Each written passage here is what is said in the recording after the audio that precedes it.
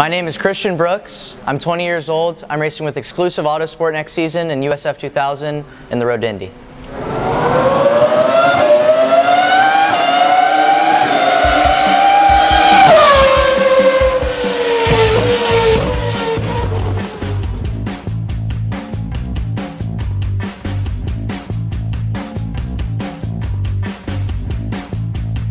I've had a long ongoing racing experience. I started go-karting actually when I was five years old, so it's been a long road and actually pursued rallycross at, I think the age of 14 was the first time I got in.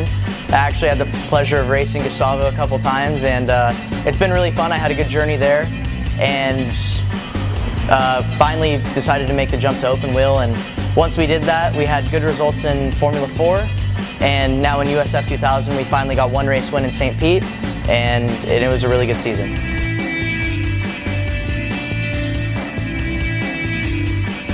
So one of my favorite things in karting that I, I, really do miss to this day is just the racecraft. I mean, you could pass three, four guys a lap and still end up winning the race or start from 40th. And in cars, I don't think you see as much of that, but at the same time, it's a lot different. So karting, uh, the competition level, there's 20 guys within a few tenths uh, at races like the, the Super Nationals in Las Vegas and, and events like that. So I really miss the very, very close competition, but honestly, you really do find, uh, find a lot of competition in the Road to Indy, so I've really enjoyed so I'd have to say my favorite driver, uh, as of recently, is probably George Russell. The way I think the way that he handled uh, getting put into the Mercedes was, honestly, it was, it was spectacular, and, and, his performance was great.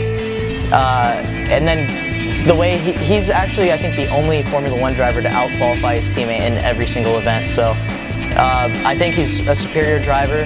A second to him would probably be Verstappen, but I think both of them are, are definitely role. Yeah, I have a dog. His name's actually uh, Kimi Raikkonen. So he's he's the Lotus colors from uh, from when Kimi was still with Lotus. So uh, I think my mom actually decided, which is pretty cool, that to name him Kimi.